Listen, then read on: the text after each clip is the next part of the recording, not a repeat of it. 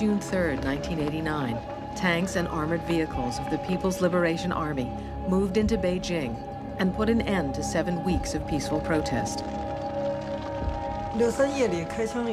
After the shooting on the night of June 3rd, when I found out that so many people had died, I felt neither anger nor sorrow, nothing.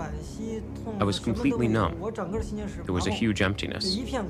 I just couldn't believe they would open fire.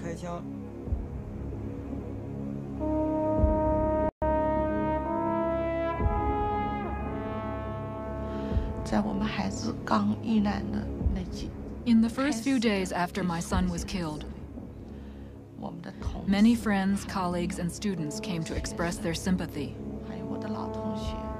They all said that soon the official verdict would be overturned.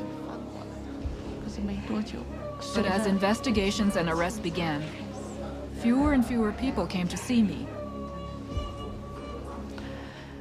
When people ran into me, they were silent. It was as though nothing had ever happened. Events do not deliver their meanings to us. They are always interpreted.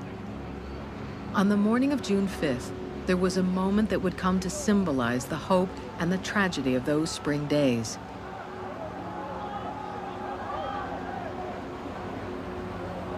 He disappeared into the crowd afterwards, and no one knows where he is now No one is even certain of his name. But for the millions who saw this scene all over the world, its meaning was clear. Here was human hope and courage, challenging the remorseless machinery of state power. The Chinese government interpreted this scene just as simply, but differently. 稍有常识的人都会看出，如果我们的铁骑继续前进， 这个螳臂挡车的歹徒难道能够阻挡得了吗？摄像机拍下的这个画面同西方某些国家的宣传恰恰相反，正好说明了我们的军队保持了最大限度的克制。In the days after the end of the protest at Tiananmen, large numbers of people were arrested all over China. I heard the government's most wanted list on the radio. At first it seemed only students were on the list, but I finally heard my own name. I couldn't stand the humiliation of being hunted down by the police. I wanted to maintain as much dignity as possible while facing the inevitable. So I decided to go to the police on my own. I told the police, I've come here because you've got your facts wrong. I don't know if it's deliberate or because you don't understand what really happened. Since I was involved, I feel it's my duty to straighten you out.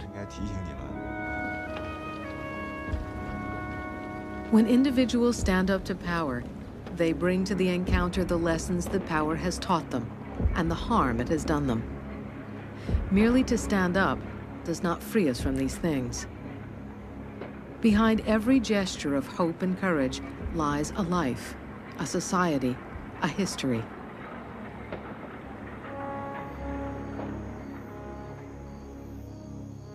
Tiananmen, the gate of heavenly peace, is the gate leading into the imperial city, for centuries the center of power in China. In 1919, though the emperor had long been overthrown, students gathered at Tiananmen to denounce the government's failure to stand up to foreign powers. Their protest spread quickly through the country and came to be known as the May 4th movement. Years of student demonstrations followed. Despite violent government repression, arrests, and killings, generation after generation, the students came out to protest, inspiring other Chinese to follow them. China was in danger, and corrupt officials didn't care. Young intellectuals felt they must place their lives on the line to awaken the people. They aim to save the nation through democracy and modern science and the discarding of oppressive traditions.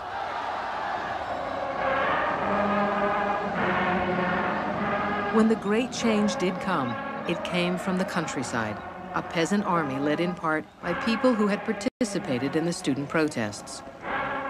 Mao Zedong's Communist Army entered Beijing in 1949. National power returned to the city, and to Tiananmen. The traditional rulers of China had always remained hidden behind the closed gates of the imperial city. When Mao appeared before the people atop Tiananmen, he reversed centuries of symbolism. The center of power was visibly shifted from the imperial city behind the gate to the broad masses in front, all facing the leader who stood above.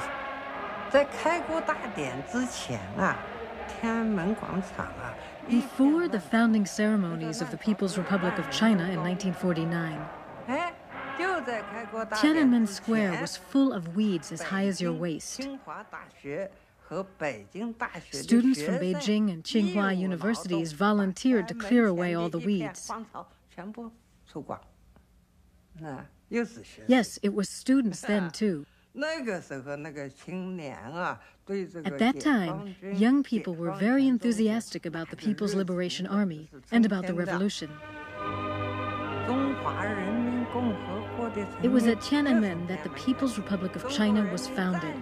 It was at Tiananmen that Mao announced, the Chinese people have stood up.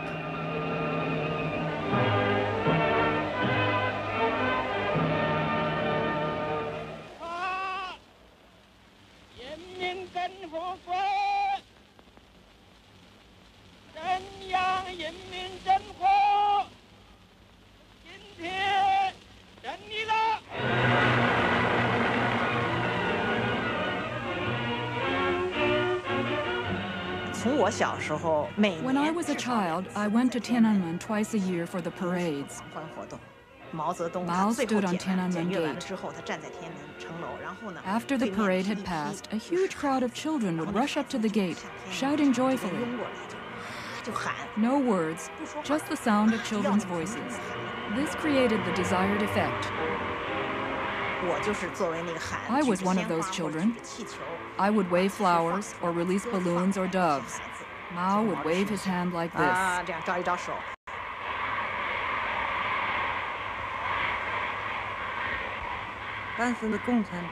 At that time, many communist leaders moved into quarters within the old imperial city. Before, they had lived with the peasants, and it was said, fish cannot live out of water. But after the revolution, if a peasant went into the city to look up a leader he had known in the past, he wouldn't be able to find him. The water could no longer find the fish. The fish were inside the palace. And Mao himself became, in effect, the emperor, hailed as a man who would live forever. Of course, I was unable to see it like this in the 1950s. In the 1950s, the government ordered the building of a great square in front of Tiananmen to accommodate the masses. Several of China's later leaders first came to prominence as dedicated model workers in the building of the square. The gigantic square would become the largest public space in the world and the center of Chinese political life. On one side of it was built a great hall of the people. On the other, a museum of history and the revolution. In the center of the square stood the monument commemorating the martyrs of the revolution, a tombstone of the great dead, which consecrates the square as sacred ground. The monument depicts scenes from China's history since 1840. There are no recognizable individuals. Collectively, they represent the people. Among the ancestors of New China pictured on the monument are the students of May 4th, 1919, protesting before the gate itself. When the students of 1989 occupied Tiananmen Square, they made their headquarters here, beneath images of other students who changed China's history. They were consciously associating themselves with the tradition of student protest in China. By their own actions, they were adding further meaning to this place, the place in all of China most charged with meaning.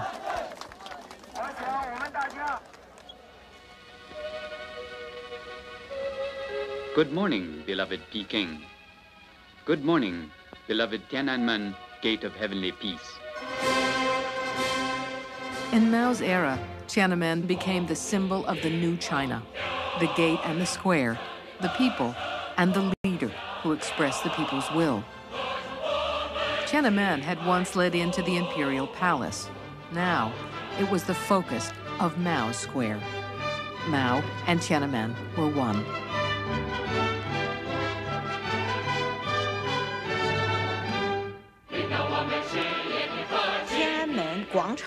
Tiananmen Square became completely entangled with the lives of the Chinese people. This was because under the Communist Party, everyone's life became involved with politics.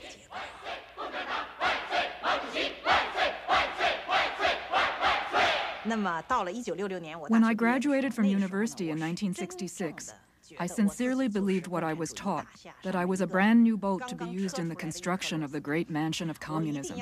I was willing to be put wherever my country needed me, and I was prepared to stay in place my whole life. To me, Mao was like God. I believed that he was not only the great leader of the Chinese people, but also the great leader of people throughout the world. I feared the day when he would no longer be with us. I really hope there'd be a scientific breakthrough that would enable young people like us to voluntarily give up a year of our lives to add a minute to his. That way the world would be saved.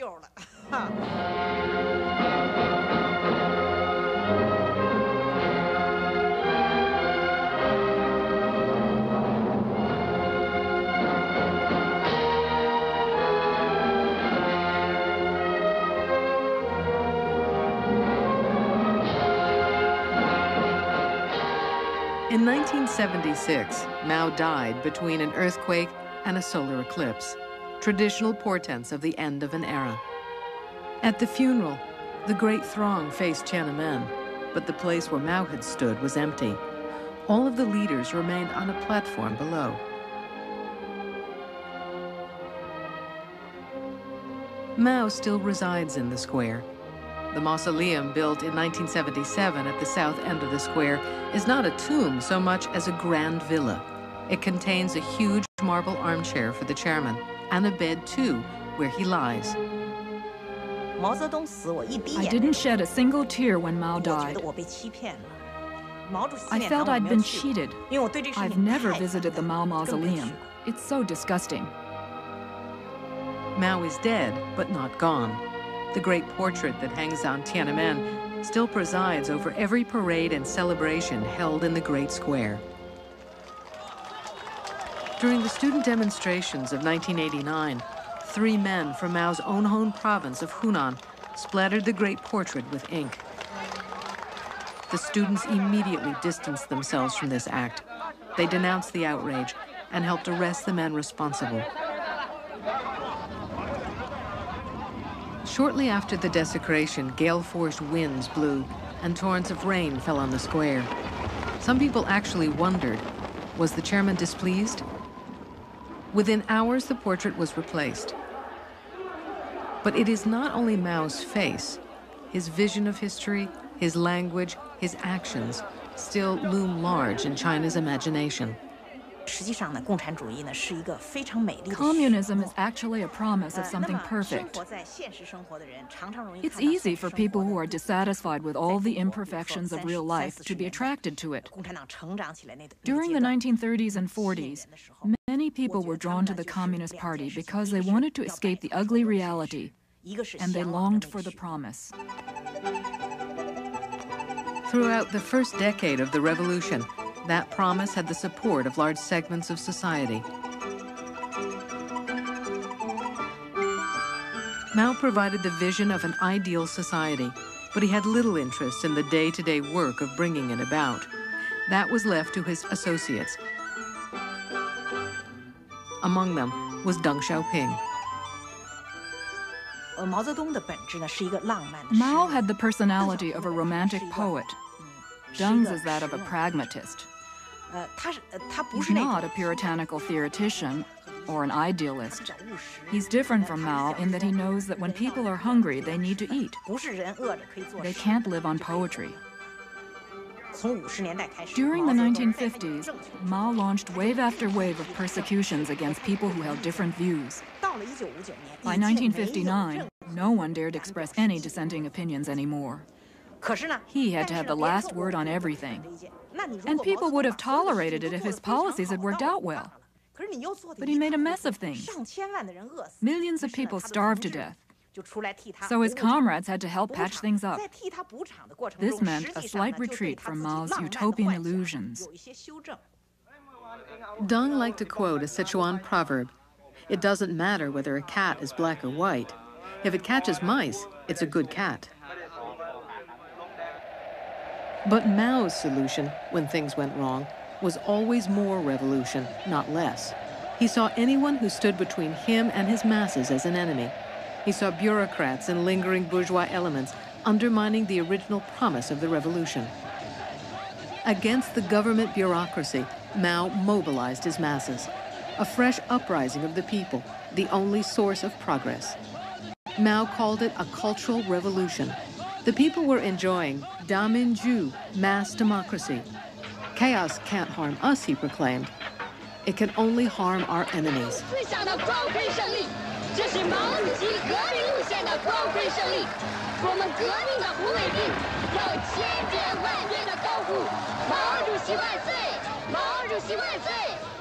Mao lost control of the Cultural Revolution. It became a war of all against all. Deng Xiaoping was among those attacked. Mao stripped him of his power, then brought him back to repair a shattered society. Like those in power who had experienced Mao's mass democracy, Deng Xiaoping's greatest fear would be Dongluan, turmoil, chaos, upheaval. When the students of 1989 took to the streets, they too were branded as stirring up Dongluan. Many leaders in the government saw them in the light of the past. They were a throwback to the horrors of the Cultural Revolution that had nearly destroyed China.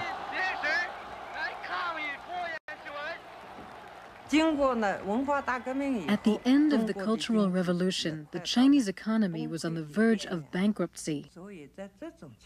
What could be done? Now here's where Deng Xiaoping was really smart. His prescription was capitalism. Reform and opening up actually meant learning from capitalism.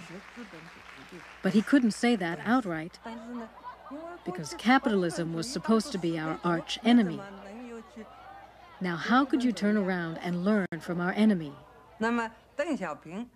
So Deng came up with something called socialism with Chinese characteristics. He followed his instincts. First and foremost, the people didn't have enough to eat. They had to be fed. Secondly, the people who had been politically wronged had to be exonerated. These were very practical things. Little did he know what tremendous changes would be triggered once this process began. It was deep winter, 1979, when a thaw began to be felt. A stretch of bare wall near the city center became a place where people posted their hopes and fears about the new China. There were a dozen unofficial journals, too, and new voices heard.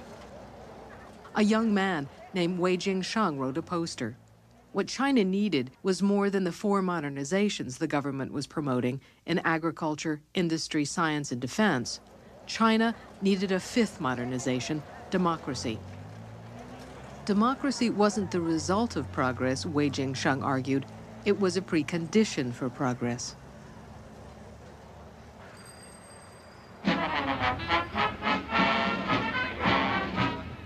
Meanwhile, Deng Xiaoping was on the road. Apparently moving away from communist ideology, Deng was welcomed in America. Time magazine named him Man of the Year. In the U.S., China's economic reforms were greeted with enthusiasm. Ladies and gentlemen, the President of the United States and His Excellency Deng Xiaoping, the Vice Premier of the State Council of the People's Republic of China.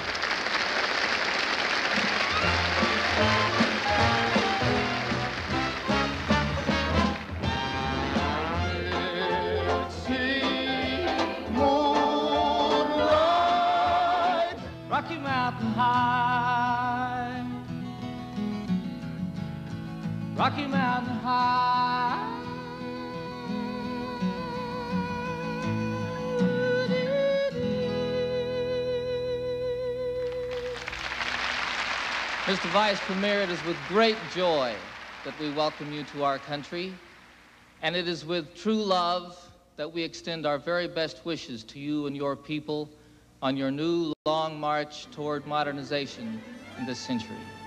I thank you very much, Hui To Chen. Thank you.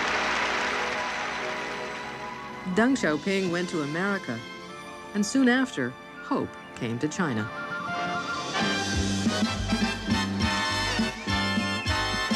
Hey, we're off on the road to China with fun and adventure in mind. The seventh wonder of the world is here beneath our feet.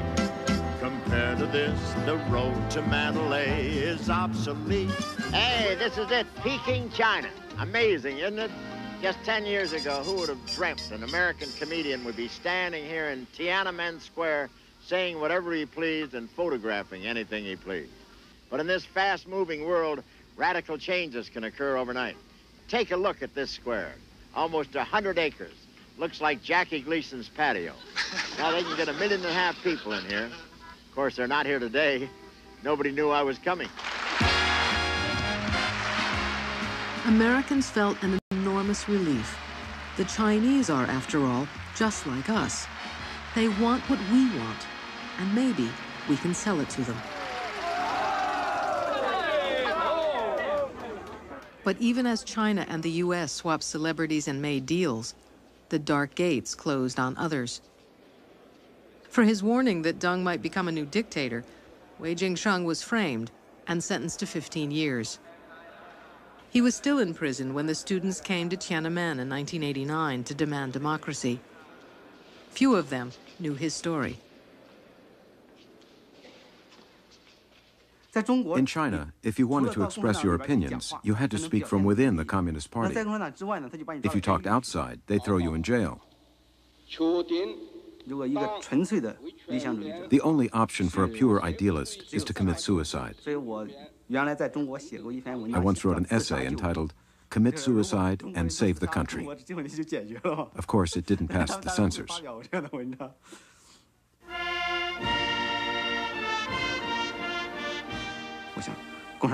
I'd completely lost faith in the Communist Party. I thought the only workable thing was to join up and try and change it. Committing suicide myself wouldn't do the country much good. A more useful thing to do was to help the Communist Party commit suicide. Lenin had taught us that the easiest way to take a fortress is from within. There's also the Trojan horse in ancient Greece. If you can't win through confrontation, you have to try sneaking inside. That someone like myself could join the party was because cracks had already appeared. Before Deng's reforms, someone like me would never have been let in.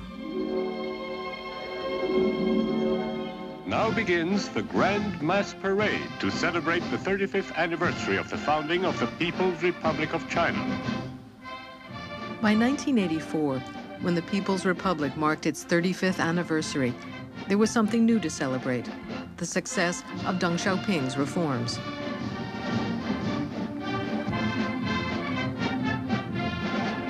Once, Deng had been purged by Mao for his disobedience. Now, Deng was no longer under the great teacher's shadow.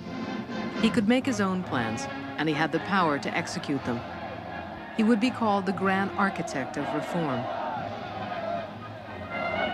By Deng's side were his loyal ministers, Hu Yaobang, Zhao Ziyang, men given the task of reform, men who can also be blamed when reform went too far. Some students in the parade raised a homemade banner greeting Deng by his first name. Hello, Xiaoping, an unheard of liberty. People were genuinely grateful to Deng. China's industry is advancing toward modernization. Like agriculture, it will soon be carried forward on the wave of reform.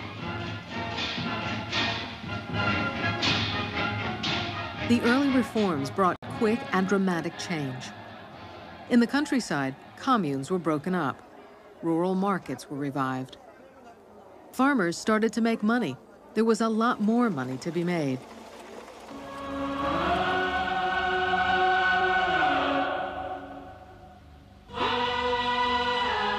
The old men in charge were changing China. the results were going to be seen everywhere. After decades of relative isolation, China was looking outward to the world. Just ahead, all the enticements of capitalism beckoned.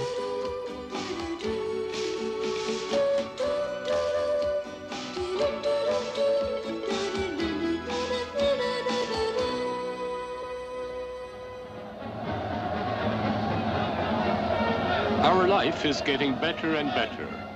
The light industry float shows how life is becoming more colorful as our living standards rise.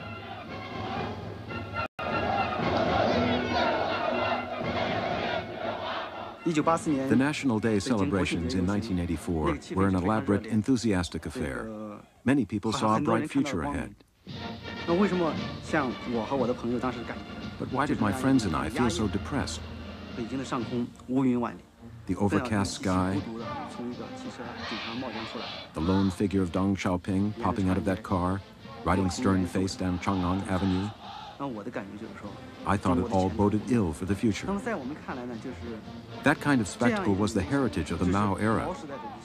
It was an embodiment of revolution. And for us, revolution was made up of a small number of ambitious political careerists on the one hand, and the frenzied masses on the other.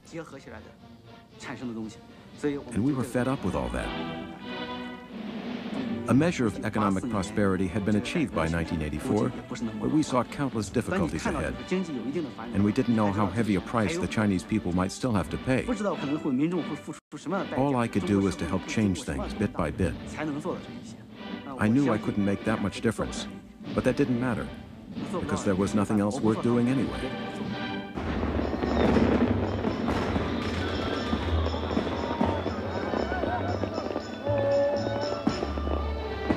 Singing and dancing, a million and a half people in the capital attend the Grand National Day Evening Carnival.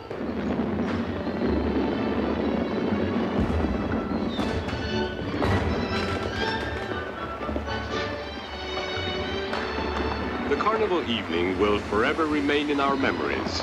Come to see Tiananmen, come to see our country in five years' time.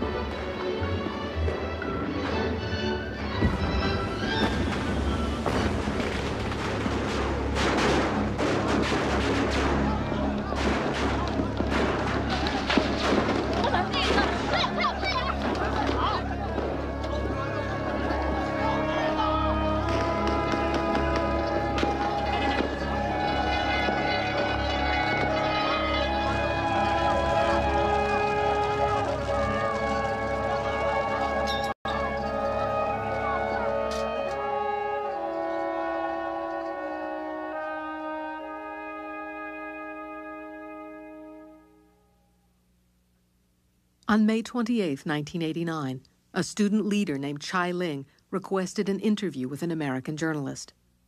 Tiananmen Square was then occupied by students. Martial law had been declared. No one knew what might happen. The interview was recorded with a home video camera. These may be my last words. Because the situation is becoming very grim. My name is Chai Ling. I am 23 years old. Oddly enough, my birthday is on April 15th, the day Hu Yaobang died. Hu Yaobang had been the general secretary of the party and Deng Xiaoping's chosen successor. Public mourning for Hu would last for a week and would become the ground from which all the demonstrations of 1989 would grow. In many ways, the movement is not very mature. An opportunity presented itself accidentally. No one knew Hu Yaobang was going to die when he did. This movement is a great manifestation of the natural democratic instincts of the students and the people, a spontaneous expression of the people's own interests. I've come into contact with people from all walks of life. They feel they have no security, Many have gone overseas. I feel this country is finished. It's going to die. Hu Yaobang had been removed from power two years before his death. He'd been accused of leaning towards bourgeois liberalism. No one protested openly when Hu was purged, but now people claimed him as a champion of enlightened rule. Mourning for him became a cover for protest against those still in power, or as it was said at the time, the men who should drop dead are still alive, yet the man who should be alive is dead. In Chinese culture, there's a phenomenon I'd call the cult of the dead. After death, all the man's flaws are forgotten and his memory is enshrined in a halo of glory.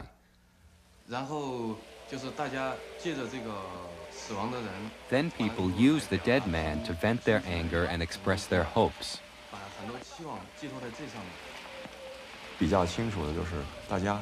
It was clear to me that people weren't simply concerned with one man's death. Hu Yaobang's death made it possible for a crowd to gather in a public place. It gave them something to discuss. And that led to discussions of all kinds of other issues. Most of the talk was about our own lives. My parents kept saying, in the past, although wages were low, it was easy to raise you three children. How come these days, even with you holding a job, we're always short of money? Deng Xiaoping's reforms, which had been so popular, were disappointing a lot of people by the end of the 80s. Workers could no longer count on lifelong employment, the Iron Rice Bowl, and the socialist safety net of medical benefits and pensions was being dismantled. Factories had trouble paying their workers. So they kicked out a bunch of people. But they didn't use the word fire. They called it reprioritizing the workforce. All these things came with reform. Everyone knows what happened in the early stages of capitalism. The competition was savage and there was no protection for the weak. In the quest for profits, there was a total disregard for the impact on the society and the environment. This is exactly what's happening in China right now. We're in a transitionary period. The reforms are necessary, but workers have to protect their own interests. To get rich was glorious, said the government, but those who got rich were mostly people in power and insiders who had always done well. Only government and industry cadre could work the turnover, buying goods at fixed government prices and selling them on the free market at a big profit. More than anything else, workers complained of corruption. The officials take and take, damn it, so why can't we take? How come when we take, we're called criminals, and when you take, you're not? People needed to vent their anger, but they were worried because so many had been persecuted in the past just for speaking out. In a crowd, they felt it was safe to let off steam. Often someone would rant and rave and then quickly disappear back into the crowd. But I felt that the reason for a lot of my suffering was that hardly anyone took responsibility for what they said or did. I thought I should try and set an example. So I told people my name whenever I spoke, to show that I was prepared to take the consequences for what I said. I wanted to indicate to people that to change a society, you had to start with yourself. Students and intellectuals had been among the strongest supporters of the reforms. Yet, after a decade of economic growth, they enjoyed few of the benefits. There's a saying in Beijing you're as poor as a professor and as dumb as a PhD. This was really true. No matter how hard you worked, you couldn't get anywhere. There is something really wrong with the reforms. Those in power have benefited from them, not the people. Although there is superficial economic prosperity, the masses and the intellectuals have been deprived of any hope or initiative. 同志与世长辞了，他是一个清官，他国外没有存款，他的子女也没有因为他当总书记而爬上什么高位。昨天在这里谈到了民主，什么是民主？我个人认为，民就是人民大众，主就是当家做主。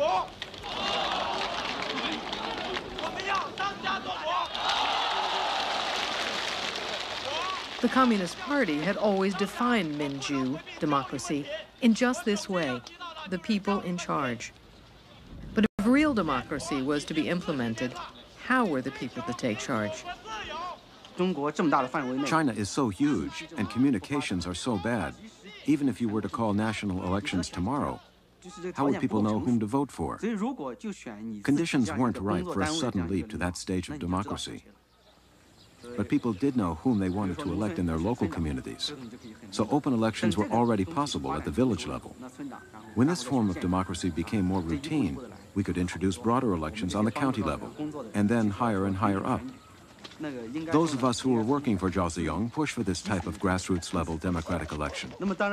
Of course, the hardline communists immediately saw this as a threat to their power, so they were dead set against it. As for the intellectuals, they said, grassroots democracy is not important. What we want to determine is the fate of China, not just the fate of a village, a county.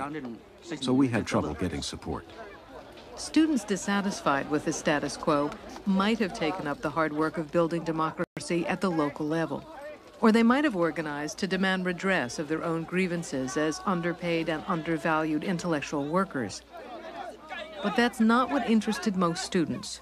They talked, as Chinese students have always talked, of saving China.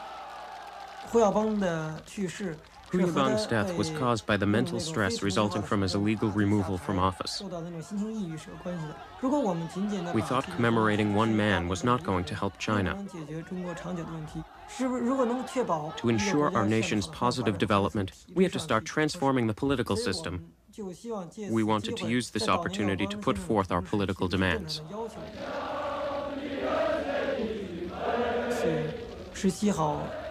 Around midnight on April 17th, we set out from Beijing University. We carried a banner that read, The Soul of China.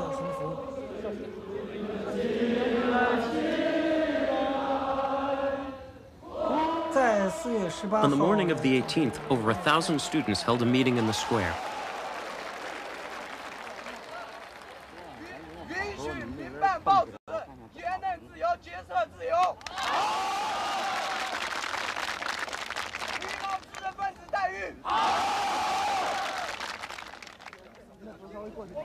The students settled on seven demands and wrote up a petition. They carried the petition to various government offices. At Xinhuamen, the entrance to the old palace compound, where China's top leaders live and work, the students waited for an answer.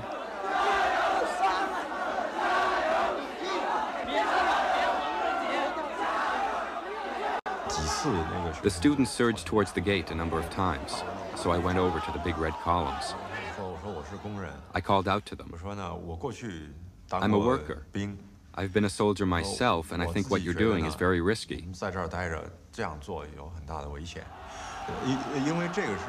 This is the seat of the highest power in the nation. If you storm in, the government will have every reason to mow you down. I said, to sacrifice yourselves like this is completely meaningless. We should use other methods to achieve our goals. I told people to stop pushing, to sit down and wait. Eventually the crowd settled down. There were no clashes that night. The next night I didn't go to Xinhuamen, but later I heard there'd been a bloody incident.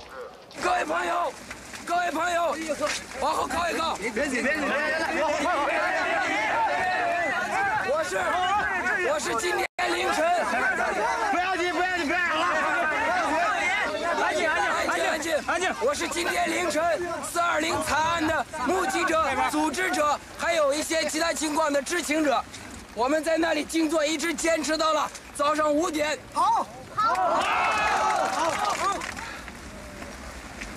在这个时候，他们出动了近千名军警。野蛮的冲击我们的队伍，野蛮的殴打我们的学生，还有北京市的其他各界的朋友，打伤人数可以说不计其数，而且他们对我们的女同学进行了猥亵、侮辱。反对镇压，反对暴力，反对暴力，反对暴力，让他们专制。们是有组织的，我们不是乌合之众，我们是这个社会的文明的分子。我相信我们大家都有都会这样认为，所以我们要有秩序的、有纪律的组织这件这次活动。呃，北京市的各个高校呢，现在正在努力，呃，努力争取联合起来。我们决决定罢课不达目的誓不复课。To achieve concrete results, student activists felt they needed a new organization of their own. Those who were willing to lead it were taking a great risk. On the night of April 19th, a new student union was formed at Beijing University. Seven people volunteered to be on the organizing committee. They became the leaders because they were courageous enough to step forward. There were no formal elections. Later, the committee made many efforts to organize elections, but because we constantly faced new crises, we couldn't do what we'd originally intended. Organizing committees appeared on many Beijing campuses and within days formed a citywide coalition of independent student unions.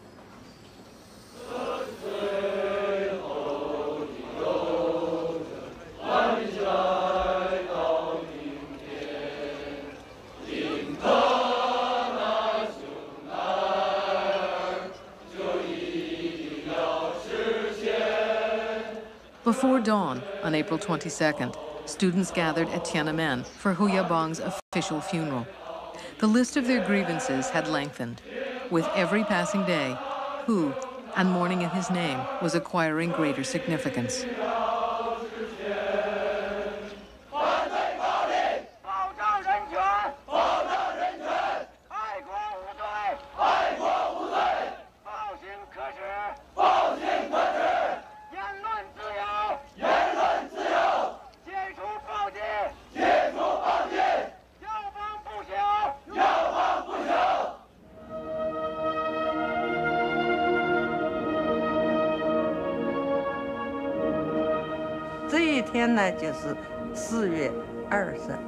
On April 22nd, a memorial ceremony for Hu Yaobang was held in the Great Hall of the People.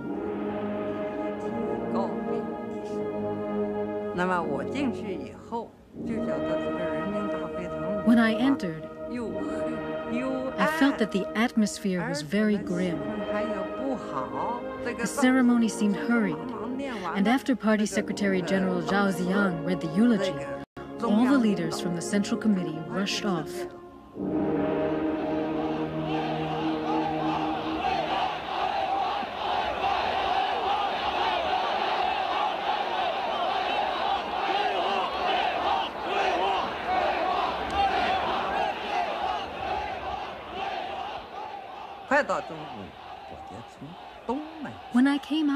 Great Hall of the People, I saw a huge crowd gathered in Tiananmen Square. I wanted to go over to them, but there were nine rows of police standing between us. The students had brought their petition and demanded that Li Peng, the prime minister, come out to accept it himself. When we saw our classmates kneeling there, holding the petition with raised arms, everyone cried. In it were our suggestions to the government, but we had to hand it in kneeling down. No one paid any attention. No one came forward to accept it.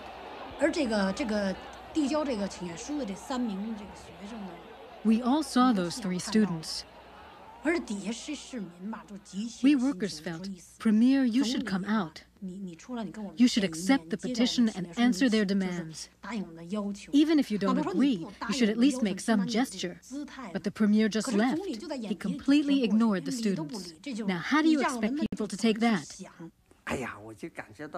How could the government be so callous?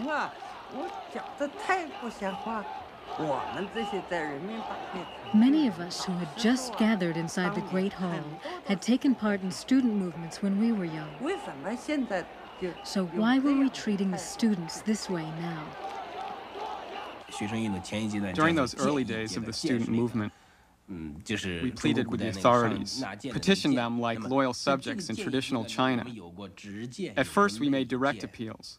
Then we pleaded with tears and on bended knee. Yes, we were even willing to kneel down before them, like subjects petitioning the emperor. We had to beg them to come out and talk to us. But then again, it's fair to say that the government virtually crumbled under the weight of our knees. What the students were opposing now were the very same things we had opposed in our youth. Why had we turned into a party which was against the people and the students? This was not the same Communist Party I had once joined. Good evening. Thousands of Chinese students took to the streets today in defiance of a government ban on public protests. The students' chant was for democracy, their demands for political reform. The backdrop was a memorial service for fallen leader Hu Yaobang. I was in New York at the time. This sort of news was on television and in the papers every day. When friends got together, all we talked about were these events. The TV images affected me deeply.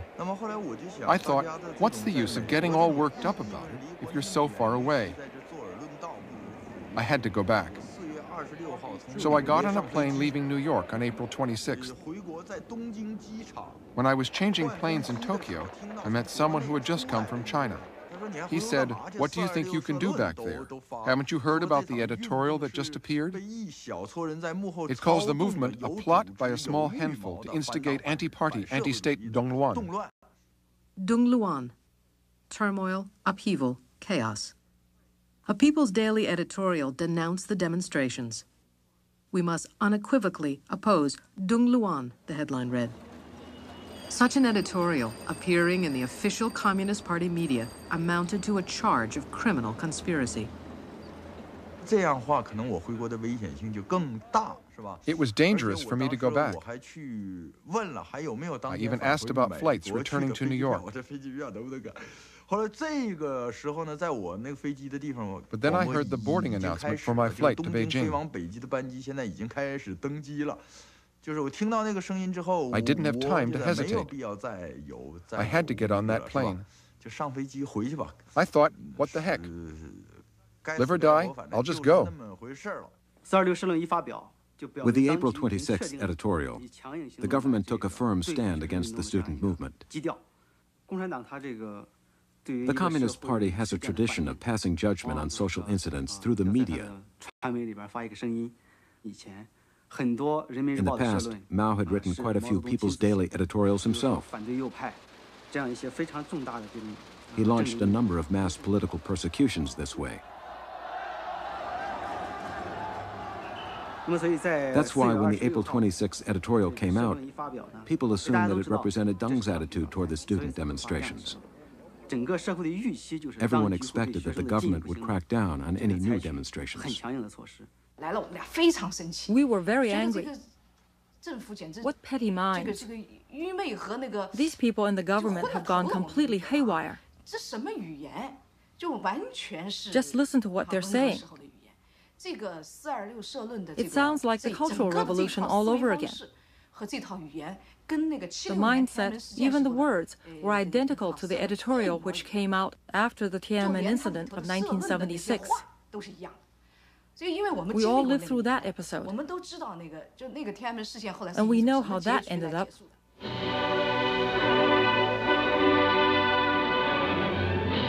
The editorial of April 26th reminded many people of what happened after another great state funeral, the events of 1976, known to everyone as the Tiananmen Incident. In January of 1976, Premier Zhou Enlai, Mao's close associate, one of the great heroes of the revolution, died. The people of the capital could not restrain their bitter grief. They left their homes and gathered on the sidewalks of the Chang'an Boulevard, along which the cortege would pass. Zhou was widely regarded as a moderate. more humane and tolerant than other top leaders. Just as the mourning for Hu Yaobang in 1989 was the occasion for protest, the outpouring of grief for Zhou Enlai was a reproach to the hardliners in power. Can't you stop for a moment, dear Premier? This is Tiananmen. Don't you remember the many festive occasions we celebrated here together? Your ringing laughter is still in our ears. Your warm gaze rests on our tears. Beloved Premier Zhou, how we miss you, how we need you.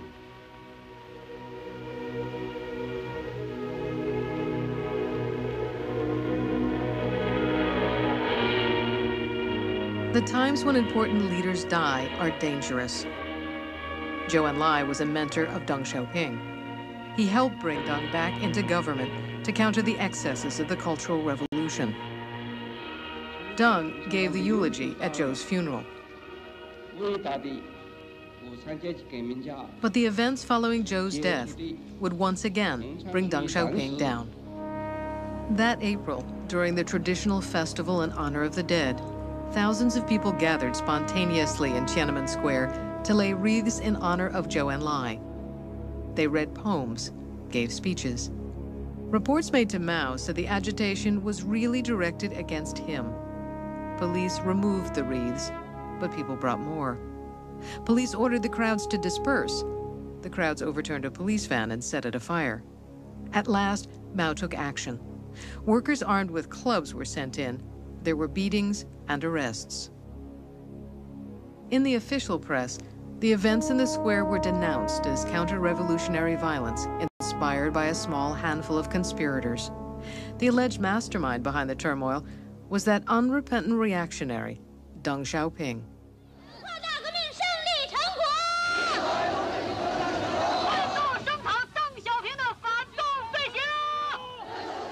Deng was denounced, condemned, forced from power. Not until after Mao's death would he emerge as China's new paramount leader. Then, the verdict on the 1976 upheavals would be reversed. The scenes in Tiananmen Square would be replayed with a different meaning. They became courageous demonstrations of the people's will.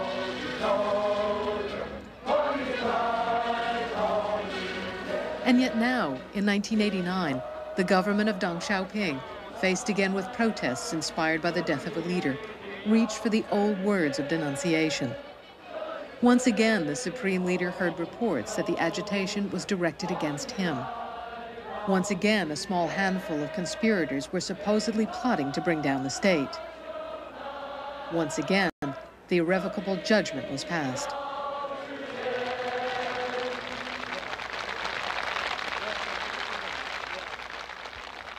The editorial of April 26th caught the students by total surprise. We didn't expect that the government would jump to such a vicious conclusion about us. We felt that without large-scale street action, we couldn't compete with the propaganda machine of the government, and the people wouldn't know the truth about what we were doing. The Chinese constitution guarantees the people free speech and the right to demonstrate. But Chinese law punishes counter-revolutionary instigation by the enemies of the people. The final arbiter was the Communist Party. Were the students the people? Or were they now enemies of the people who must be suppressed? I got together with some friends to talk about the situation. All of us were teachers at various universities. We heard that huge numbers of police would be deployed the next day. This really worried us. We decided to demonstrate with our students. We felt that we must show where we stood at a moment like this.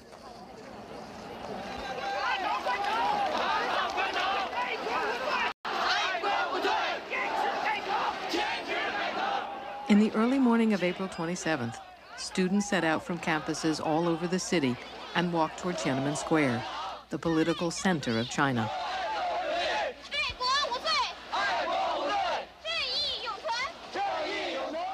Police were placed on alert throughout Beijing and positioned to blockade key intersections along the route.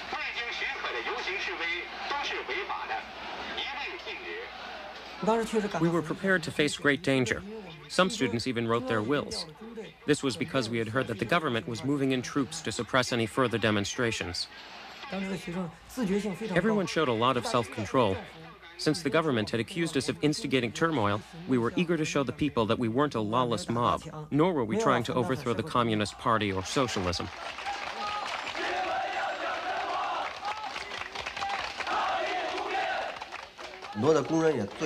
Many workers were furious. The government said that the students were instigating turmoil. Well, the way I see it, if the students were wrong, you wouldn't have to send the police or the soldiers. There are plenty of young workers like me who could beat them up. But the students were right. They expressed what was in the hearts of us workers. That's why we went out to support them. I was really moved that day. The students held out cardboard boxes for donations, and I stuffed money in them. When I saw the students were sweating, I bought popsicles for them. I supported this demonstration because it was focused against one of the most fundamental means by which the Communist Party maintains its rule. That is, to accuse people of fabricated political crimes. The students showed real conviction. They put their lives and their future on the line to fight this unjust system.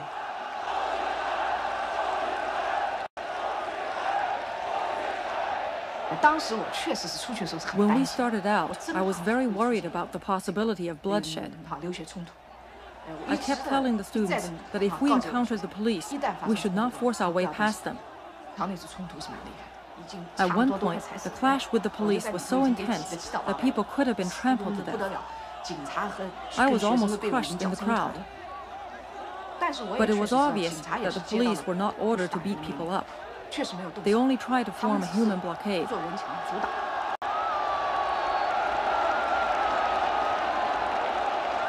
The students met little further resistance. They continued their march toward Tiananmen Square. The students were very pleased with themselves for breaking through police lines, and the cheering of onlookers made them feel like real heroes. The whole thing now turned into a carnival because there was no more danger, and everyone was watching the students' big show. That was how I felt later that day, completely different from when I started out. It had been an unprecedented day. A mass student demonstration held in the face of government warnings, had been allowed to march peacefully through the streets. And that very day, the government announced that it was willing to talk. In this event, both sides had made efforts to exercise restraint. This unprecedented moment could have opened up new possibilities if only people understood what he meant. But a historical opportunity is often easily overlooked, easily passed by. Unfortunately, this was just what happened. I had just arrived back in China at that point. I suggested to the students that it was not a good idea to continue staging huge demonstrations. Once you have shown your strength, you should return to classes and try to secure some specific democratic rights on campus. Few students were ready simply to go back to class. But what should they do next? The triumph of April 27th would be the last moment in which all parties working for change were united. The euphoria soon began to fade, and disagreements over tactics developed. What a student movement represents is a call for social justice. There are times when we have no choice but to take to the streets to express our ideas, vent our anger, and show our determination to change things. April 27th was such a time. The students did a great job, and the government was forced to change its usual behavior. But our ultimate goal is to change the entire system. This cannot be accomplished by students staying in the streets. The students demanded that the government grant legal status to their new organization, the Coalition of Independent Student Unions, and talk with them as equals. They wanted Duihua, dialogue. One of the most important demands raised by the students was for the government to have a dialogue with them. Where did the idea of dialogue come from? Actually, Zhao Ziyang was the first to promote it. He said government leaders should engage in dialogue with ordinary people. The party hardliners opposed this from the start. It's absurd, they said. The party and the people are one family.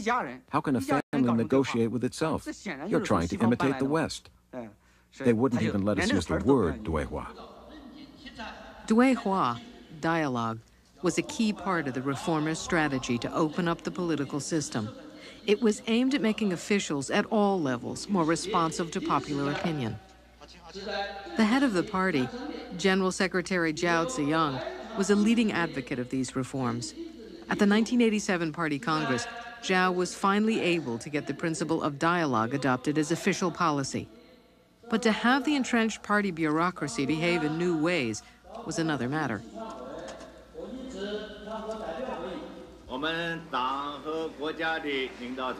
On April 29th, the government held a meeting with representatives of the official student union of Beijing. Only a few of the new activists managed to get in. Yuan Mu was the government spokesman. His was not the new, more open-faced that Zhao Ziyang wanted. He spoke with the voice of standard party authoritarianism, and he did most of the talking. The independent student unions called this meeting a fraud. Surrounded by the media, the student leaders made the rounds of government offices to present their conditions for further talks.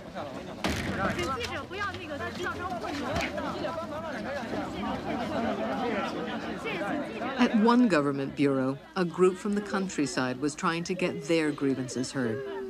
Grassroots democracy hadn't reached their village, so they were doing what they'd always done kneeling before the offices of the central government to beg for official intervention in their local problems. They were having little luck getting anyone to listen.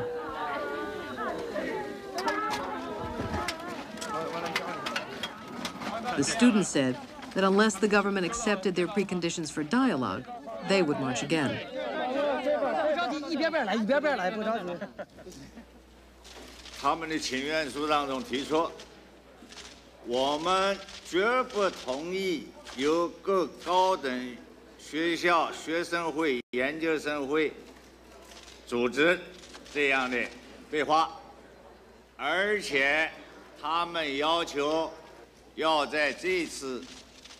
游行示威中，经过不合法的手续临时组织起来的所谓高等学校学生自治联合会来组织对话。Some student activists were trying to institute elections, and they were getting support on campus.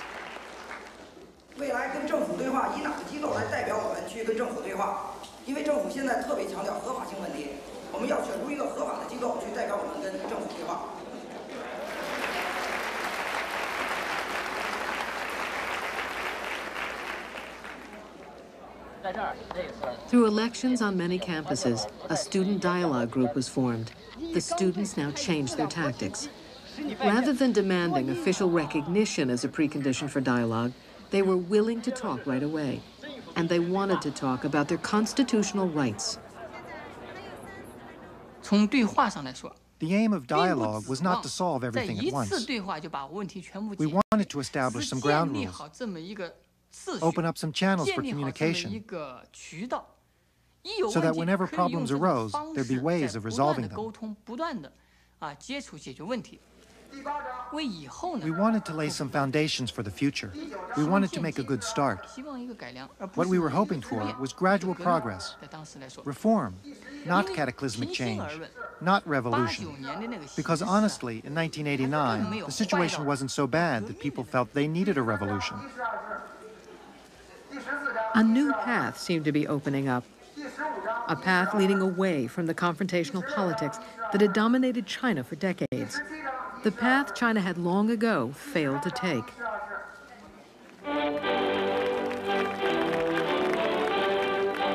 On May 4th, China celebrated the 70th anniversary of the demonstrations of 1919. when patriotic students had first protested against an unresponsive government. There were two celebrations on that day the government sponsored commemorations at the monument and a mass student march from the university district to Tiananmen Square.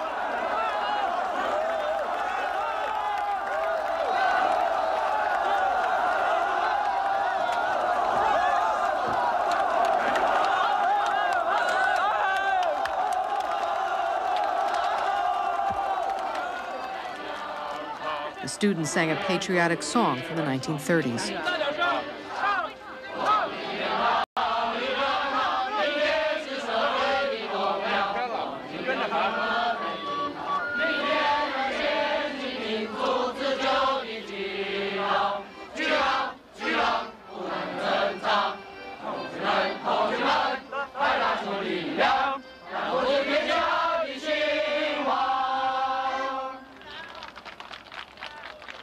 In official Communist Party history, the student protests of 1919 were but a prelude to the party's revolutionary makeover of China.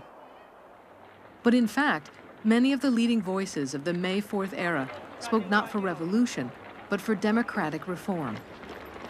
After their days of street protest, many students went back to school, took up various professions, and continued to work for social change. Those who saw no hope for reform joined the Communist Party to fight for an ideal society. Over the decades, the voices championing gradual change were either stifled by conservative power holders or drowned out by cries for revolution. By marching into Tiananmen Square, the students of 1989 were saying to the party, we are the true inheritors of the democratic legacy of the May 4th movement. But the May 4th spirit they were most familiar with was the one the party had taught them. In the value system of the Communist Party, revolution is placed at the top. So comrades are called revolutionary comrades, couples revolutionary couples, and families revolutionary families. Everything is revolutionary. Reform is not a good word in communist vocabulary. What we were trying to do was to introduce the idea of incremental change to the people of China. We were trying to tell them that reform was not a bad thing, and that revolution often failed to deliver its promise. Once again, the government had not suppressed the march. In fact, the leaders at the top were deeply divided on how to deal with the protesters. On the very day of the May 4th anniversary, Party Secretary General Zhao Ziyang made a speech that departed surprisingly from the hardline April 26 editorial. In a nationally televised meeting with foreign bankers, Zhao told his audience that there was no serious turmoil in China. Dui Hua, dialogue, Zhao said, was the solution to the present tension.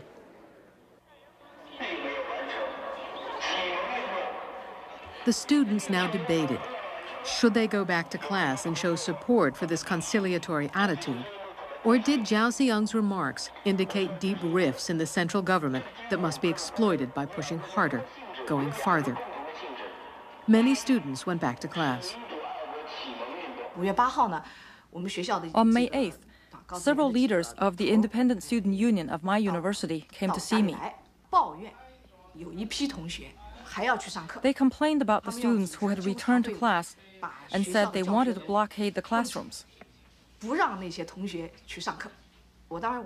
I said, I thought you were demanding democracy. A basic principle of democracy is the right of individual choice.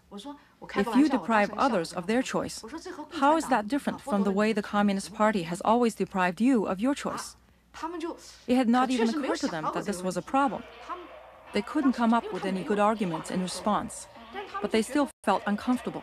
They said, then how can we get anything done?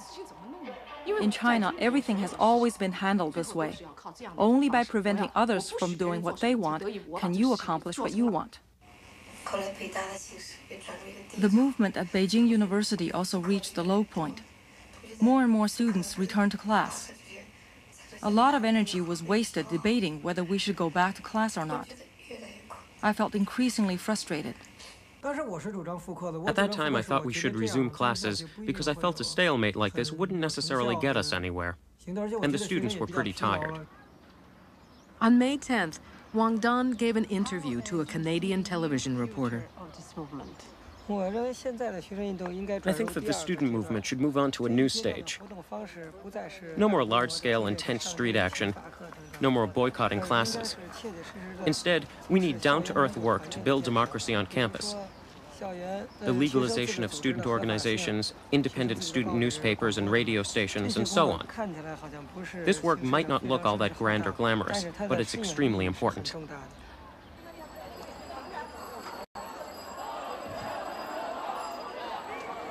And yet, over the heads of the prominent student leaders still hung the People's Daily editorial of April 26th, the shadow of Dong Luan.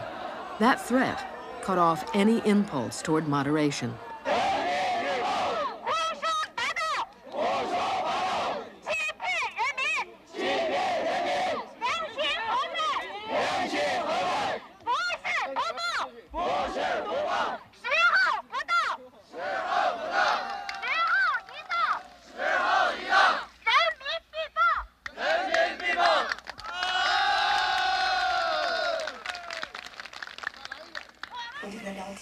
Once we were chatting, I said, How many years do political offenders get?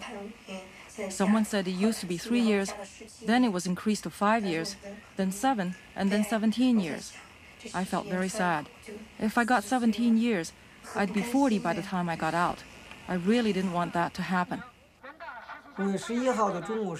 On May 11th, six of us discussed the situation. We had placed a lot of hope on talks with the government, but they kept putting it off. We feared that the movement would run out of momentum. Then the government would have been able to arrest the student leaders one by one and disband the independent unions. So it was necessary to escalate the movement, to use more radical methods and apply more pressure to force the government to concede to our demands. Since demonstrations and sit-down strikes no longer bothered the government, we felt the next step should be a hunger strike. Wang Dan told me about the hunger strike, and I immediately signed on. Then we tried to persuade the leaders of the independent student unions, but some of them were firmly opposed to a hunger strike. I think they have a tendency towards opportunism. As is so often the case, democratic procedures were getting in the way of political action. Unable to achieve a consensus within the independent student unions, the people in favor of a hunger strike bypassed the new organization and made personal appeals to the students. On the evening of May 12th, Chai Ling and I addressed the students. She did most of the talking. She said that the government was forcing us to put our lives on the line. She was crying emotionally. This got everyone really stirred up. I said, we are staging a hunger strike in order to reveal the true face of the government and the true face of the people. We want to see whether the Chinese have any conscience, whether there is any hope for China. I said, we are prepared to face death for the sake of true life. The oath written by our lives will brighten the skies of our country. At noon on May 13th, the hunger strikers shared a last ceremonial meal. The strikers wanted the government to repeal the April 26th editorial and hold televised talks with the students. That morning, the government had met one of these demands. They'd agreed to talks with the dialogue group. But by the time this news reached the universities, the hunger strikers had already set out for Tiananmen Square.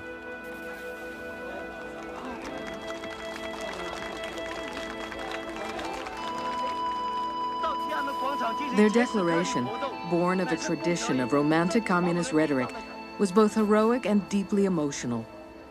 It even included some lines from Mao's youth. This country is our country, this people our people. If we don't speak out, who will? If we don't take action, who will? At the height of youthful happiness and beauty, the hunger strikers proclaimed, we must resolutely leave everything behind us. Mother China, Witness now the actions of your sons and daughters.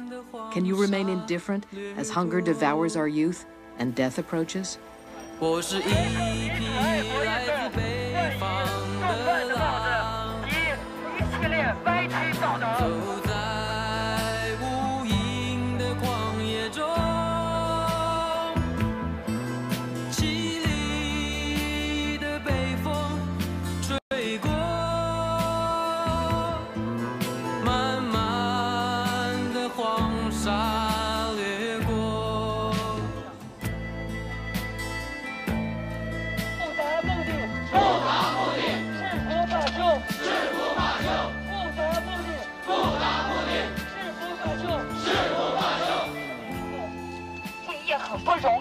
昨天晚上三点到凌晨之间这一段，同学们又冷又饿，但同学们挺过来了。很有可能我们还要挺过像昨天这样的第三个、第五个夜晚。希望大家能够尽可能的坚持到底。有没有决心？有。谢谢大家，真是好战友。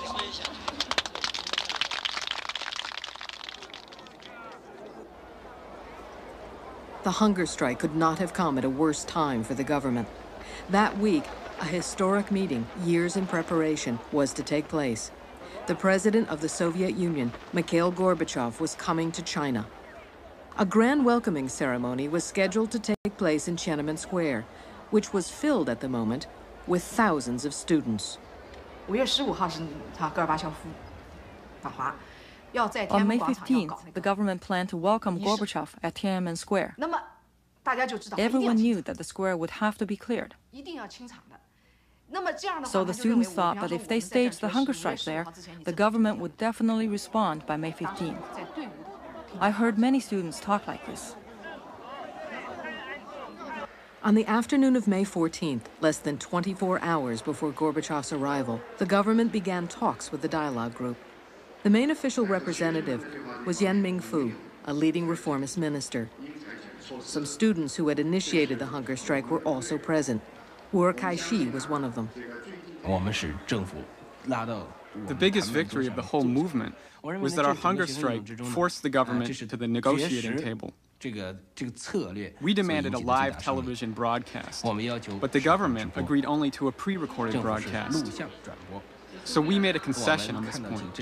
We felt that a pre-recorded broadcast was in itself a hard-won achievement. But the hunger strikers who were waiting at the square did not hear the promised broadcast.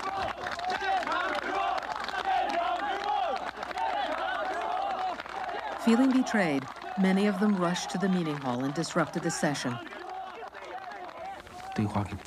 So the talks were wrecked by the students themselves. I felt that May 14th was a big setback for the student movement. After this, the students missed many more opportunities by repeating the same mistakes. It was the eve of Gorbachev's arrival, and talks between the students and the government had broken down. When we speak of the government, we're talking about two kinds of people the reformers who were in power at the time, and the hardliners who opposed them. Reform was in a very precarious situation and came under constant attack. The reformers hoped for social stability so that they could continue their difficult work. The hardliners had been using all kinds of underhanded tactics to get Deng Xiaoping to turn against the reformers. But they hadn't seen much success. So they wanted to create a massive crisis in order to get rid of the reformers, as they had Hu Yaobang.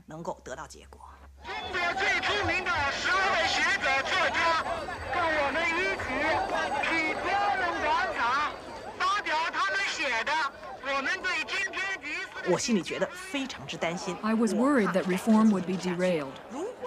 If that happened, then all the grand sloganizing about democracy, about abolishing dictatorship, and so on, would simply be a lot of hot air.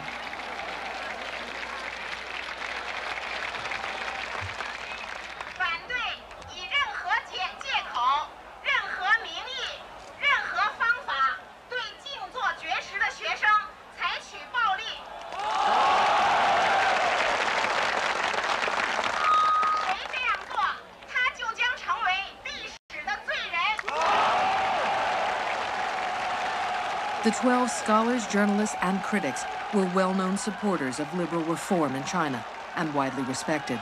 They all praised the students, but called on them to change their tactics.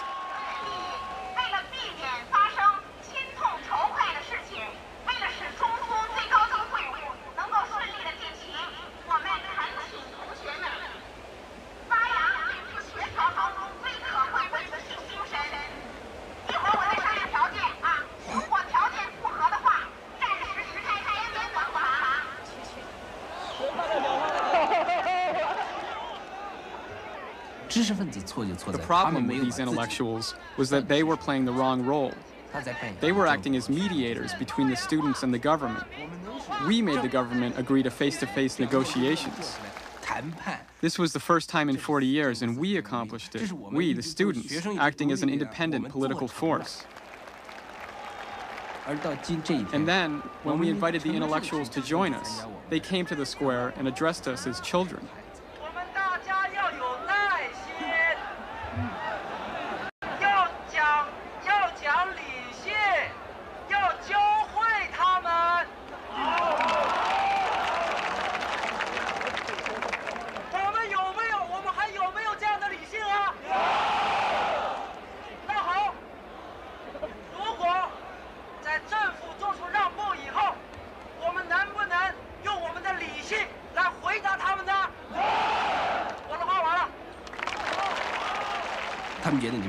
Message we got from them was this. You people have gone too far. You have to do this gradually. Listen to your mommy and daddy. Listen to your government. Well, all I have to say is, what have you done that gives you the right to criticize us? The 12 scholars had made an accurate assessment of the situation, and they were well-intentioned. They knew this stalemate would harm the students' cause, but all the students had put so much into the hunger strike, how could the government simply ignore us? If we left, it would have been like encouraging a bully. Emotionally, we couldn't accept that. You can tell me all you want about what a rational person should do, but I say, excuse me, I can't be that rational because I'm not facing a rational opponent. We failed completely. At the time, I felt we intellectuals were caught between a totally irrational government and totally irrational students. What could we do? Although most students were unimpressed by the intellectuals' attempt at mediation, some shared their belief that Gorbachev's visit would help the cause of reform in China. As a last-minute compromise, Wu'er Kaixi led the call to make room for the official welcoming ceremony for the Soviet leader.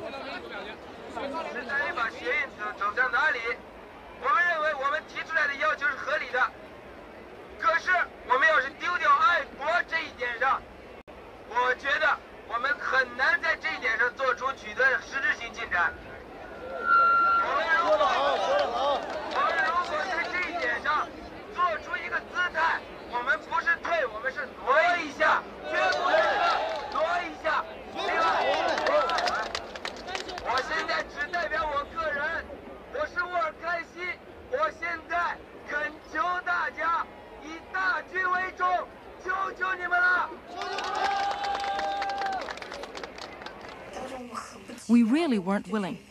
We decided not to move. Because, well, I'll quote the words of a foreign reporter. He said, You are already on a hunger strike. What more can they ask of you? On the night of the 14th, Everybody was waiting for the clearing of the square. Everyone was restless. Why aren't they coming? Why aren't they coming? On the morning of the 15th, I phoned a friend.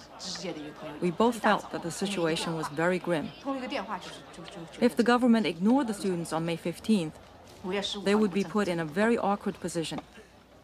What were they going to do? Stay on a hunger strike forever?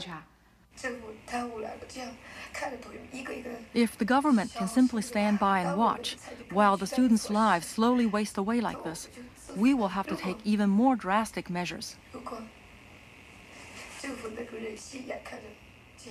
We will set ourselves on fire. If the government is callous enough to see these children starve to death, then I will be the first to die.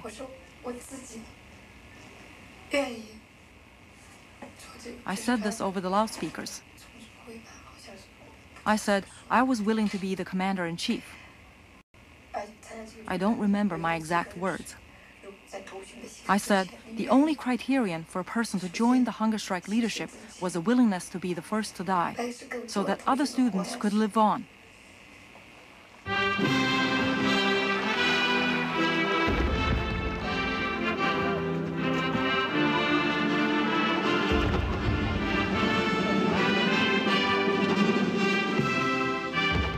The government chose to cancel the grand ceremony planned for Tiananmen Square.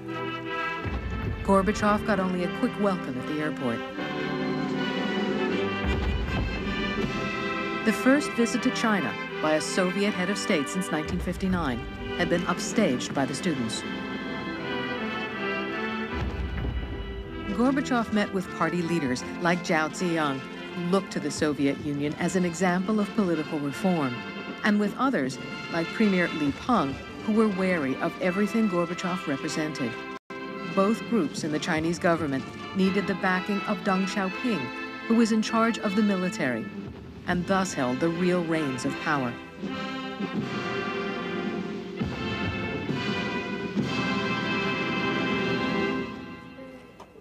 By now, the hunger strikers had been in the square for two days, and their numbers were increasing constantly. Still, there was no official response. As time dragged on, sympathy for the students and anger at the government grew. I couldn't even convince my own students to leave. The female students cried whenever I spoke to them. In the morning sun, the students looked so young, with only sheets of newspapers between themselves and the bare ground. It was really a touching sight. They were putting their young lives on the line, sitting there stubbornly. But the government was ignoring them. I was moved. So I decided to stay on the square to help them run errands. We workers and ordinary people had been looking on. Then, when the students started the hunger strike, using their own lives to awaken the whole nation, people felt their responsibilities and they rose up too. On May 16th, while Gorbachev continued his discussions with the Chinese leadership, 300,000 people marched in the streets of Beijing. On the 17th, and again on the 18th, that number rose to 1 million people.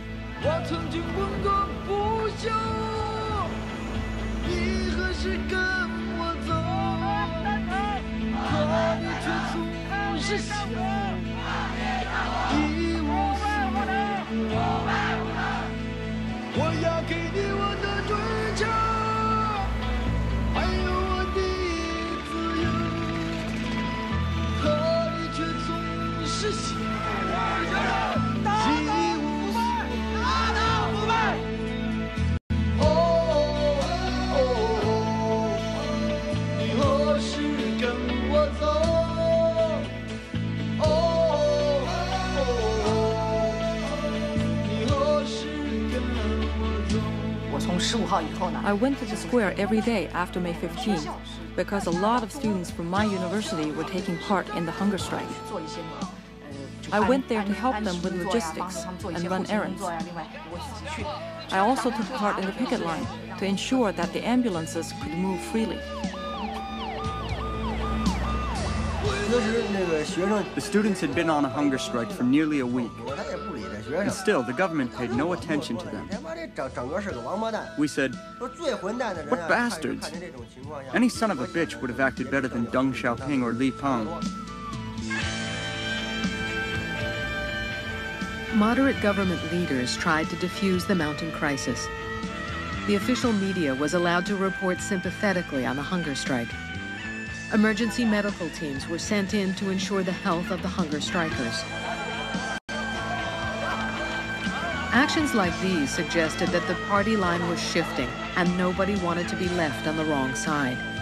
Local party leaders and managers started permitting their workers to go to Tiananmen to show support for the students.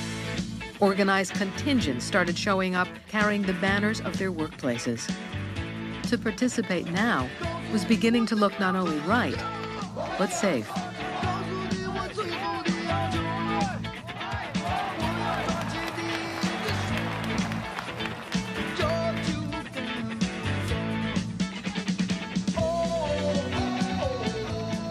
The spectacle was overwhelming and highly photogenic.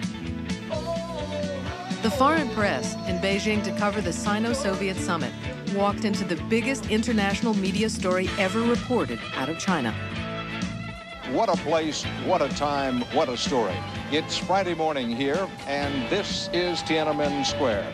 Today, it's the People's Square, all right.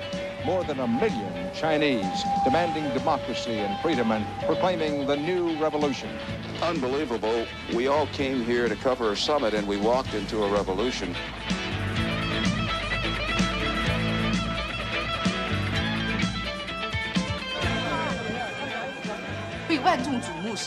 It's a great feeling to get the attention of tens of thousands of people. Before the movement, the students had been very depressed. All of a sudden, they were at center stage. People needed them. They felt a heroic sense of being able to change history. This feeling was a boost to their egos and whet their appetites for more. There's never been a generation like ours, one that mocked the state, mock the government, mock the leaders. And there's never been a generation that has seen that the outside world is so beautiful.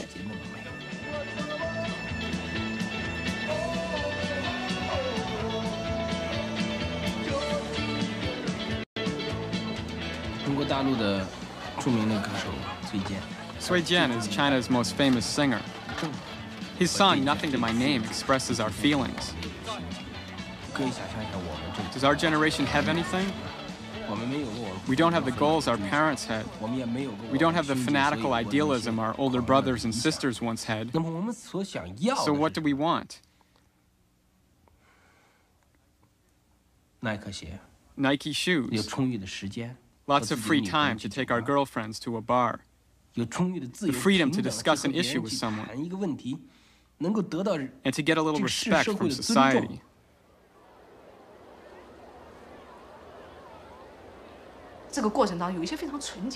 In this process, there was something so pure, so unforgettable. There were also things I couldn't accept, even things I found repulsive.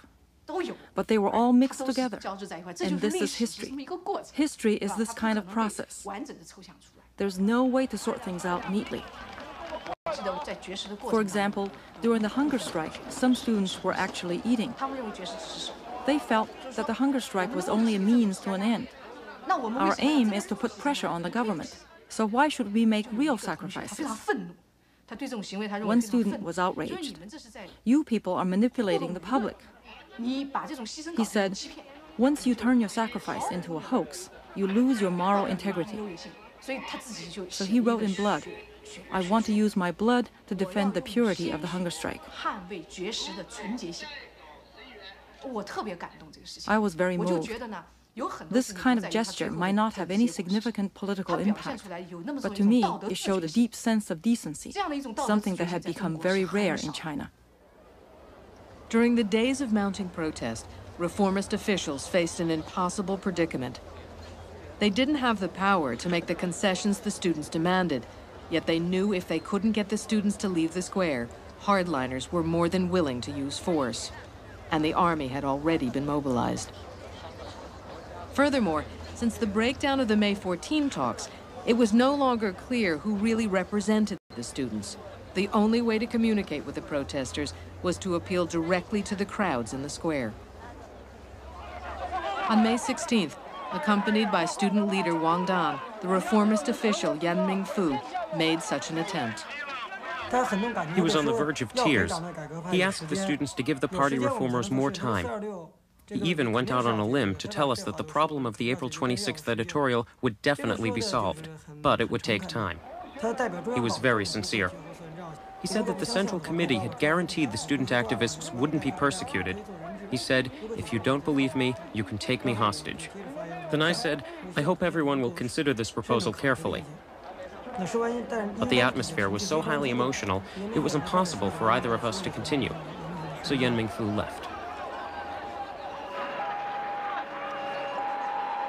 Only hours after Yan Mingfu's appearance in the square, a letter from Zhao Ziyang, written on behalf of the Central Committee, was broadcast. In essence, it contradicted the April 26th editorial. But the strike continued.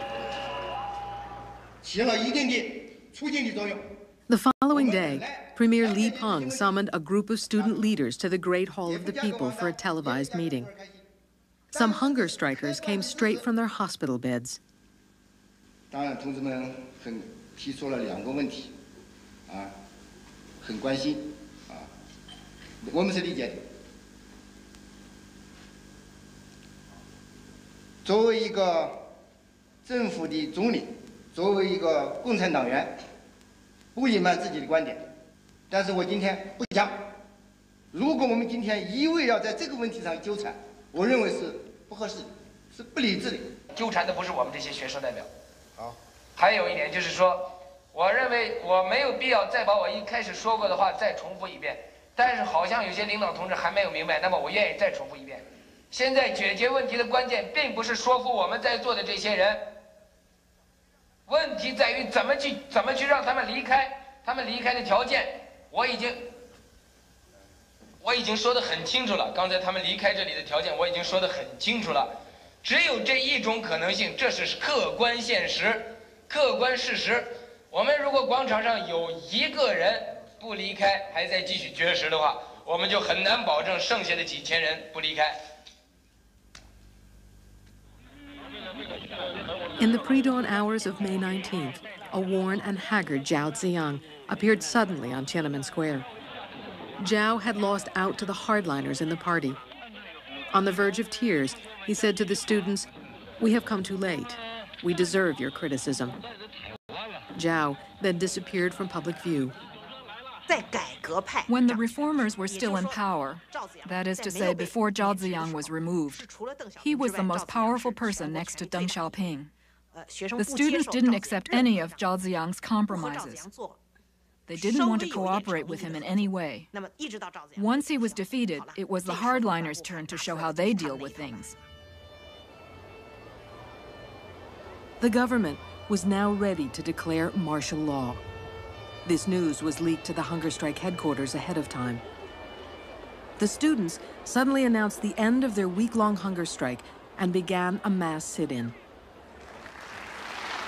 On the evening of May 19th, Premier Li Peng addressed an emergency meeting of state and army leaders. His speech was broadcast as army units moved toward the city. 如果再不迅速扭转局面，广大的革命的先烈用鲜血创造出来的中华人民共和国的前途和命运，都面临着严重的威胁。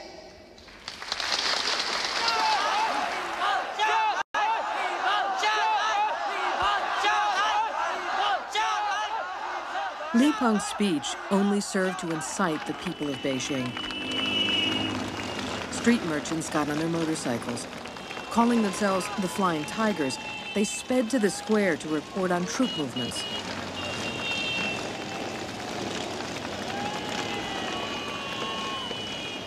Convoys were blocked by crowds of protesters and their supporters. 解放军官兵们，我请求你们， 请求你们拿出你们的正义和勇气，做一个人民的军队、人民的子弟兵，而不要为小撮人所左右，做一小撮人的工具，做中华民族的罪人。你们知道吗？这我们知道吗？这我们知道吗？这民众的呼吁。我们在做什么？你们知道吗？解放军兄弟，你们是保护人民、保护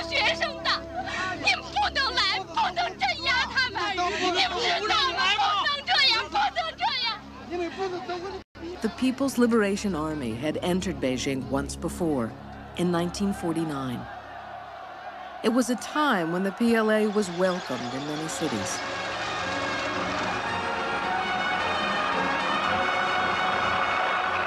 Over the years, the army was seen as a true people's army, from the people, of the people, and for the people.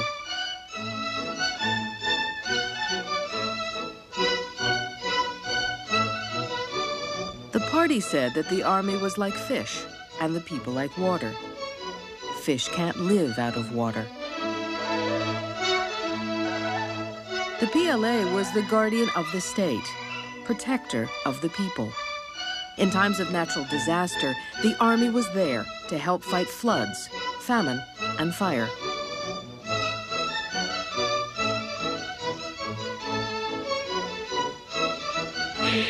Party propaganda promoted a popular image of the army.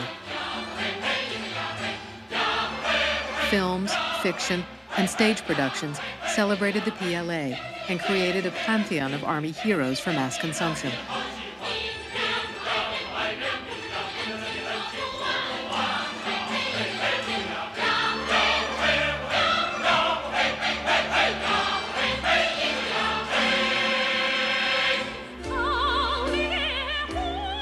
1989, the PLA received its annual tribute in the Chinese New Year TV extravaganza.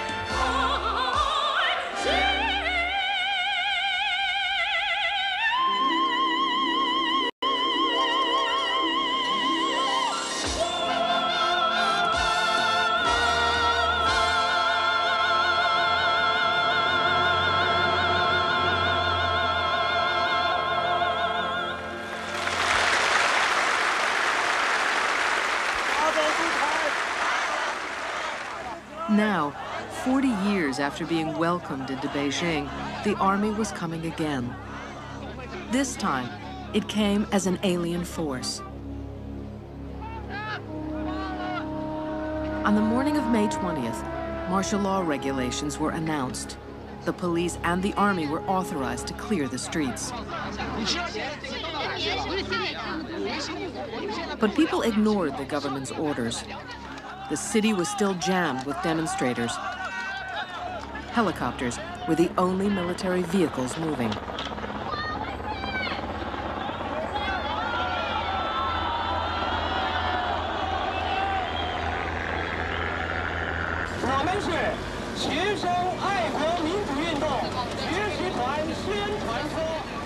Faced with the threat of armed repression, the students tried to mobilize even greater public support.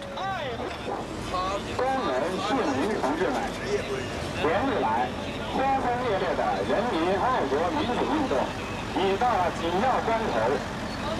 天安门广场绝食的学生和声援的学生面临着被镇压的危险。我们呼吁广大的工人和市民全部罢工罢市，在天安门去去伸张正义，去坚持真理。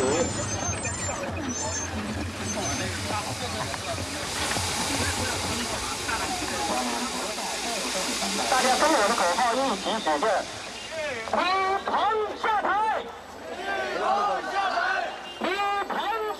Just at the moment when the students most needed the support and protection of a mass movement, a group of workers declared the founding of an independent union. They set up a public address station at the northwest corner of Tiananmen Square. I became a broadcaster. People sent us a lot of letters. For the last 40 years, there had been no channel for them to express themselves. By broadcasting their letters, we gave them a voice. There are many people like me. We wanted to listen to something simple, direct, and to the point. The Independent Workers Union not only put forth our own demands, it also helped out the students by sending them food and water. Without the people of Beijing, the workers, the farmers from the outskirts of the city, and the street merchants, the students could not have persisted for long. The new union helped mobilize citizens to block the martial law troops.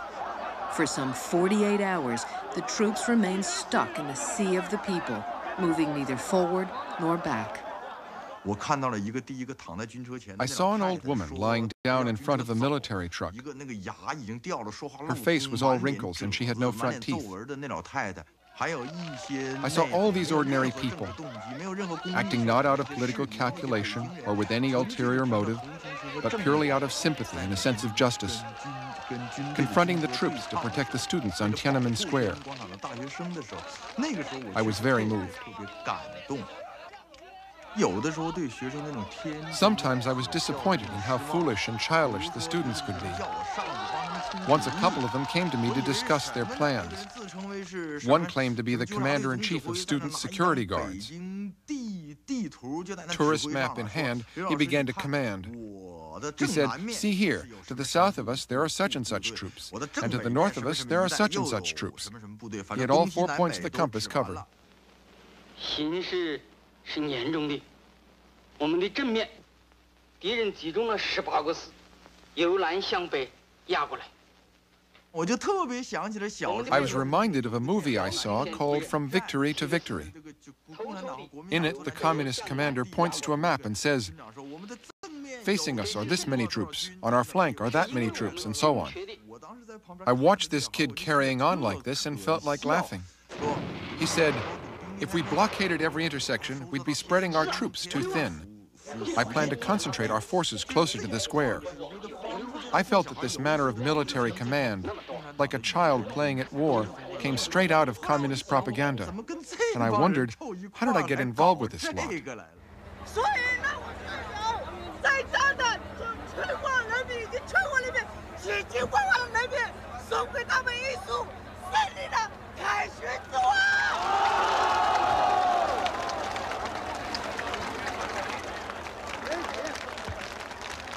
The massive show of resistance to the army was successful. The troops pulled back to the suburbs.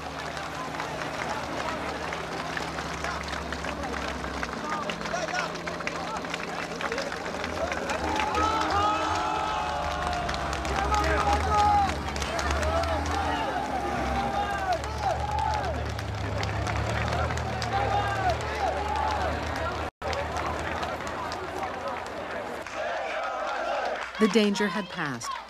People continued to pour into the streets.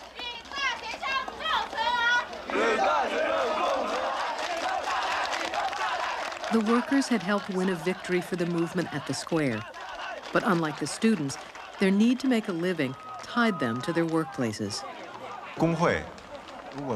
A union unrelated to the workplace is not really a union at all.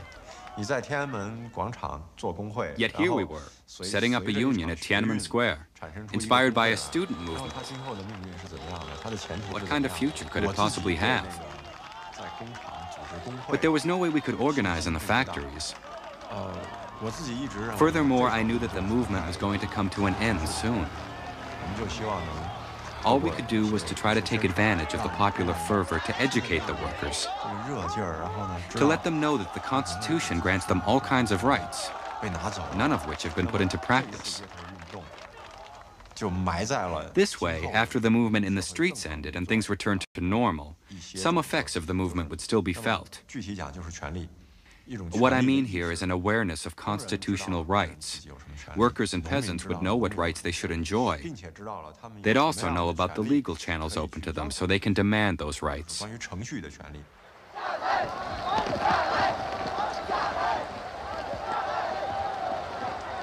Meanwhile, among the students, a struggle over tactics unfolded. Some of us wanted the students to leave the square, not only out of consideration for the students' safety, we also thought it was good tactics. By leaving the square, we would have undermined the rationale for imposing martial law, and that might have given the reformers in the government an opportunity.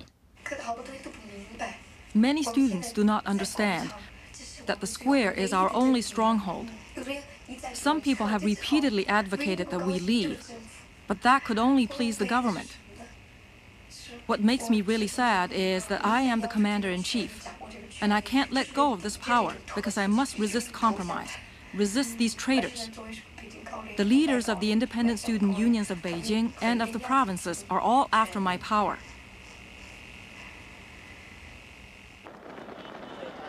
In the intense atmosphere of the square, the leaders with more radical agendas had the advantage. These were people who had come to prominence through the hunger strike. They had not stood for elections on campus. Their credentials were a determination to make the greatest sacrifices. Their power base, the continuing acclaim of their followers. They set up a new headquarters to defend Tiananmen Square. Once more, Chai Ling became commander in chief. The commander had control of the loudspeakers, the voice of the square that broadcast to the masses.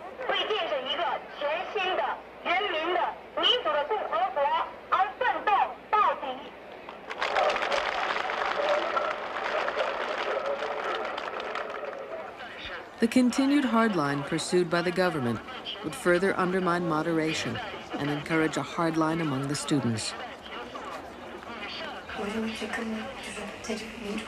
I used to believe that we could establish democratic processes and then a lot of people could use science to really help our country. But now I've come to realize that unless we overthrow this inhuman government, our country will have no hope. Our people will have no hope.